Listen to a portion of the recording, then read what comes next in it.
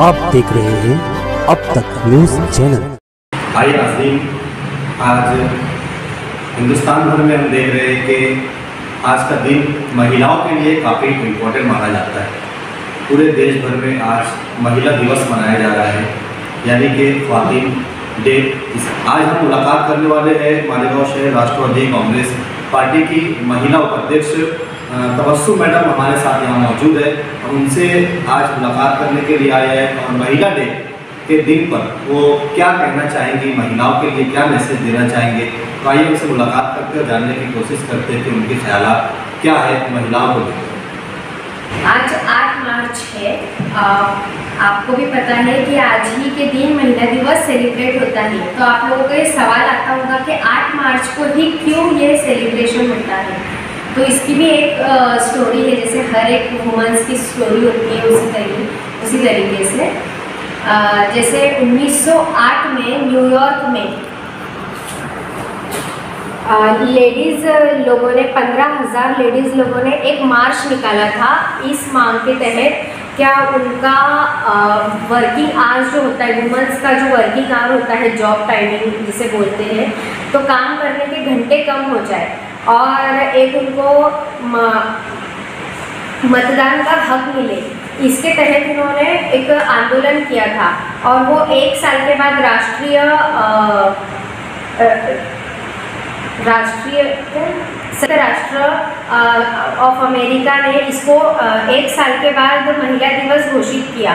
इसमें Clara Zetkin नाम की एक लेडीज़ थी जिन्होंने ये मुद्दा लेडीज़ के लिए रखा था। वो भी एक लेडीज़ बहुत सराहनीय की बात है कि आज एक लेडीज़ ने ही लेडीज़ के लिए एक इम्पोर्टेंट बढ़ाई है। तो क्लारा जेटकिन नाम के लेडीज़ ने अ, ये मुद्दा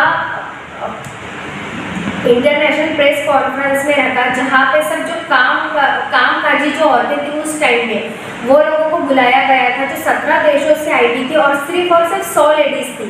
उसमें ये प्रस, ये सुझाव रखा गया था और वो सभी लेडीज़ ने इसको बहुत अच्छे तरीके से प्रोत्साहन दिया था बहुत अच्छे तरीके से इसको समर्थन दिया था। तो इसके तहत ये सुझाव आगे बढ़ा और फिर 1910 में ये सुझाव रखा गया था और 19 अ, 1975 में इसको एलिजिबल किया गया। मतलब ये तब लागू हुआ और ये तब से एक थीम के तहत इसके ऊपर काम स्टार्ट हुआ और एक थीम के तहत चार देशों में मतलब पहली बार वुमेंस डे मनाया गया। जैसे न्यूयॉर्क है ऑस्ट्रेलिया है और जर्मनी ऑस्ट्रेलिया डेनमार्क यहाँ पे पहली बार वुमेंस डे मनाया गया। सेलिब्रेट हुआ। और ये 8 मार्च की तारीख ऐसे हुई क्या अ, 1975 में रूस में जब एक लड़ाई हुई थी उसमें औरतों ने ब्रेड एंड पीस ये नारा लगाया था मतलब खाना और शांति।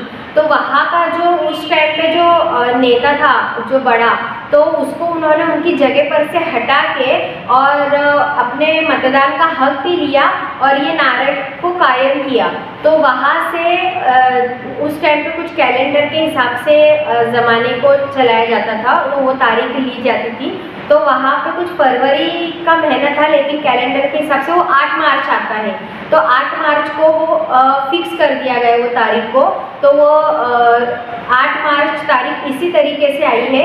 तो 8 मार्च को हम लोग वुमेंस डे घोषित करके सभी महिलाओं को 8 मार्च को वुमेंस डे मनाते हैं। और दूसरी एक बात मैं कहना चाहूँगी कि हम इंडिया में रहते हैं, भारत में। तो बाहर, भारत एक ही मुल्क है और यहाँ पे सभी तरह के लोग रहते हैं। तो भारत में एक चीज़ कभी कभी एक बात से ये भी डर लगता है, जैसे निर्भया कांड हुआ था तो वहाँ की उस केस में उस लेडीज़ को सात साल बाद न्याय मिलने को उन लोगों के जो गुनहगार थे, उनको सात साल लग गए थे न्याय मिलने के लिए, उनको सज़ा मिलने के लिए।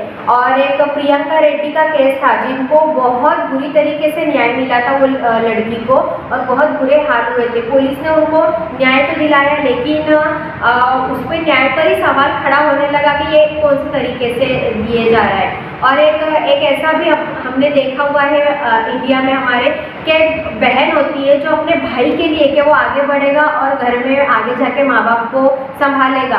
तो वो अपनी पढ़ाई छोड़ के अपने भाई को पढ़ने के लिए भेजती है और अपनी पढ़ाई छोड़ देती है। और जो घर के कामकाज होते हैं खेती बाड़ी के और दूसरे भी तो वो उसमें हाथ बटाने लगती है।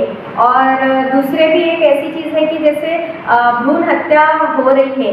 तो एक लड़की का अगर है तो उसको वो अ, मतलब ख़त्म करने की कोशिश की जाती है। मतलब उसको बढ़ावा नहीं दी, दिया जाता। महिलाओं को क्या मैसेज देना चाहेंगे आप? महिलाओं को मैं ये मैसेज देना चाहूँगी जैसे एक मिस इंडिया रनर अप अपने इंडिया से इंडिया से पहली वुमन रही है। और जैसा एक लेडीज़ ने पहला जो गणतंत्र दिवस का मार्च था वो संभाला वो भी एक महिला ही थी। एक फाइटर प्लेन उड़ाने वाली भी एक महिला ही थी। और एक तेईस साल की लड़की जिसने महासागर जैसे महासागर को पार करके अपना भारत देश का झंडा लहराया। और एक पीवी सिंधु है जिन्होंने मेडल लेकर आए हैं गोल्ड मेडल लेके सानिया मिर्ज़ा है। और सब में मेन बात तो हम, मैं मालेगांव की लेडीज़ हूँ। मालेगांव में आय- आयशा हकीम नाम के जो मैडम थे, उन्होंने जो आज मालेगांव फ़िल्टर पानी पी रहा है, उन्होंने फ़िल्टर प्लान वो लेडीज़ ने लाया तो ऐसे बड़े बड़े काम एक महिला कर सकती है। तो मैं ऐसा चाहूँगी कि हम सारे महिलाओं ने इनसे ये लेडीज़ लोगों से कुछ सीखना चाहिए। स्टेशन बना के हमने भी ऐसा कुछ सोचना चाहिए कि हम भी ऐसा कुछ कर सकती है। लेडीज़ बहुत कुछ कर सकती है। तो इनको अपने नज़र में आइडियल बना के हम भी हमारी हिम्मत को बढ़ाते ये सारी लेडीज़ों को हमको आइडियल बना के अपने आगे की पीढ़ी के लिए इनके नक्शे कदम पे चलना चाहिए ताकि हमारी आने वाली पीढ़ी में बहुत सारा सुधार आए।